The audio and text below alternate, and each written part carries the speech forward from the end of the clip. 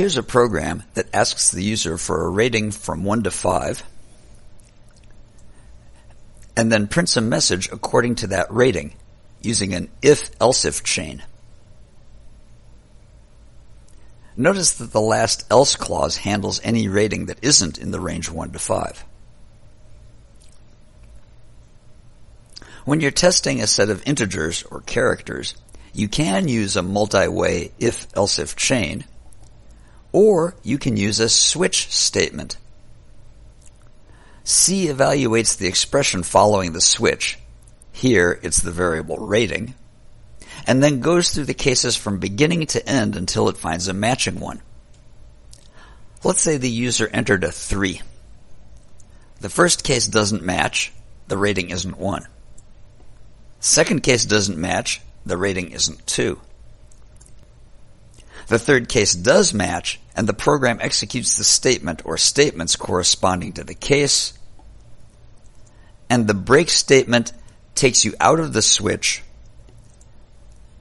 and the program proceeds with the next statements after the switch.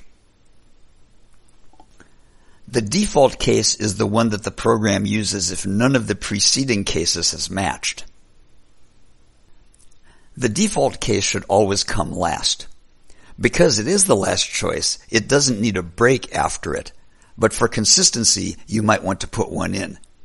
That's what the book we're currently using does it's extremely important to put a break after each of the other cases. If you leave out the break, the program will fall through to the next case.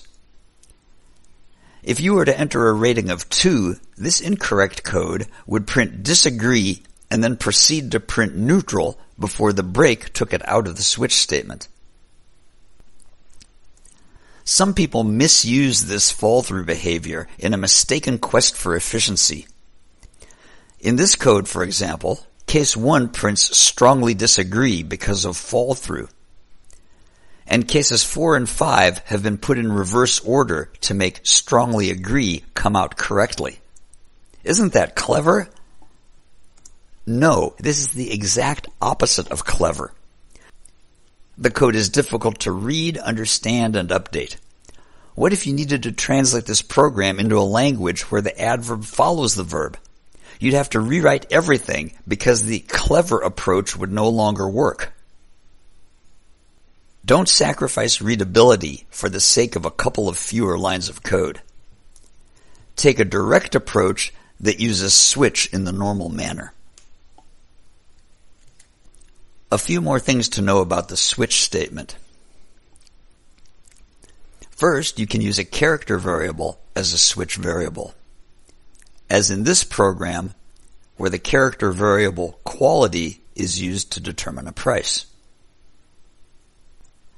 Second, there are instances when using the fall-through behavior does make sense and increases readability.